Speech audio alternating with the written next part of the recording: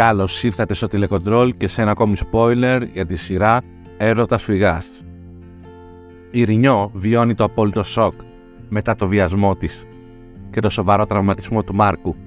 Αυτός αρνήθηκε να πάει στο νοσοκομείο ώστε να τον περιποιηθούν τα τραύματά του καθώς δεν θέλει να μαθευτεί τι έχει συμβεί και να στιγματιστεί η Ρινιό.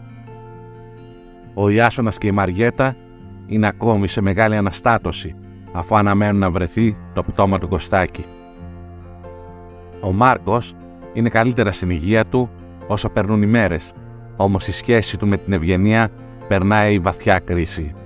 Με την ίδια να εκφράζει τα παράπονά της το Στέφανο.